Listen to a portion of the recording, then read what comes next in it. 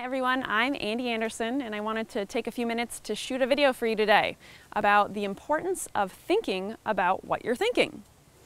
So today's video is all about why is it so important to start thinking about how we're thinking, right? So the reason this is so important is because if you're not actually thinking about how you're thinking, then you're on autopilot. And many of us in life, after a certain number of years on this planet, turn on our autopilot switch and then we never think about how we're thinking. We never think about what thoughts we're having. We never shed the light of awareness on the thoughts that are coming into our head at any given time. We just turn on that autopilot switch and we actually become the thoughts that we're thinking, or we think we're becoming the thoughts that we're thinking. So, why is it so important to start thinking about how you're thinking? Well, if you're not thinking about how you're thinking, then you are on this autopilot switch and you're going through your life and you're not taking a step back to ask yourself, well, what does this thought mean? And where is this thought coming from? And is this what I really want? And who is actually bringing this thought to me? Where is it coming from?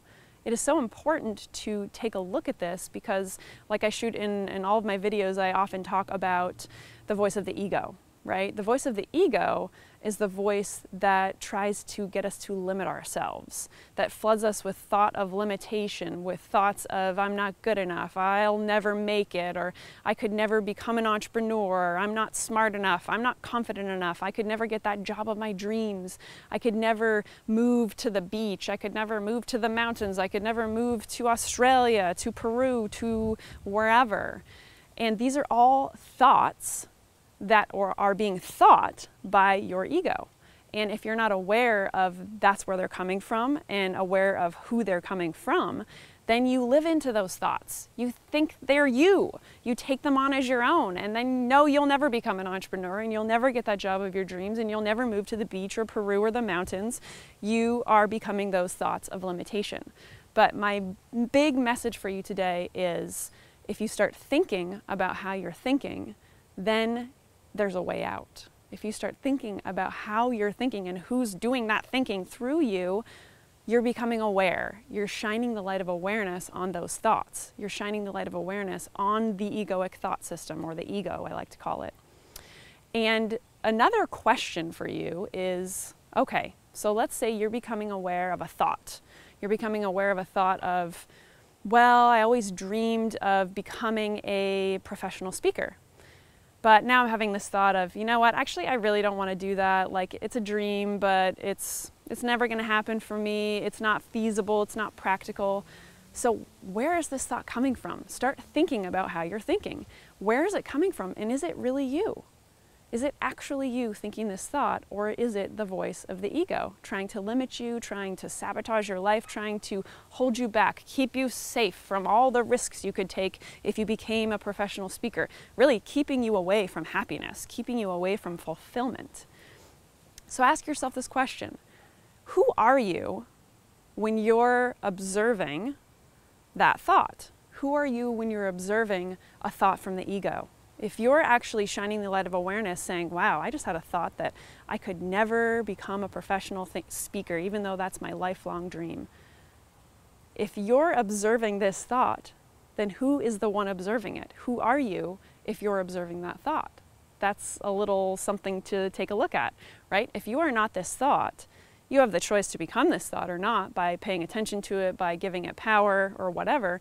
But if you're just observing it over here, taking a look at this thought over here, then who are you? This is an interesting question. So, you know, I like to think of it as there's the voice of the ego, there's that voice of limitation, and then there's who I really am and who you really are, which is the voice of inspiration, the voice of the universe, God, whatever you want to call it and just taking a look at who are you choosing to be in every single moment. Are you choosing to become the voice of limitation and, and, the ego? Or are you choosing to follow inspiration, follow intuition, follow your passion, follow your joy, follow your love in your life, right? Who are you choosing to be at every moment? So this is the importance of starting to think about how you're thinking. And also to start asking the question, if you're having various thoughts, who is doing that thinking? Who is thinking that through you?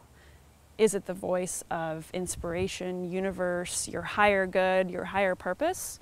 Or is it the voice of the ego, of limitation, of sabotage? Who is doing the thinking? And are you paying attention to who's doing the thinking and who is thinking that thought through you? So, again, this is a very important topic because the number one most important thing to start doing if you're interested in becoming aware of your thinking and your thoughts is to shine the light of awareness on your thoughts and to pinpoint where are they coming from. Does it intuitively feel like you truly don't now want to become a professional speaker because there's all these risks involved? Is that actually what your intuition or inspiration or the universe is telling you what to do or guiding you to do? Or is that the voice of the ego trying to keep you back, keep you from happiness, keep you from that amazing joy and fulfillment in your life that you could have if you followed your dream? So, who will you choose to listen to? Again, I'm Ande Anderson, and if you're on my website right now, avaiya.com, please scroll down and leave me a comment. I would love to hear from you.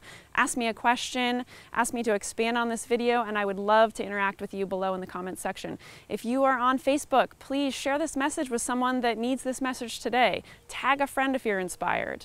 And hey, if you're on YouTube, please subscribe to my channel. I will see you again next week and have a great rest of your day.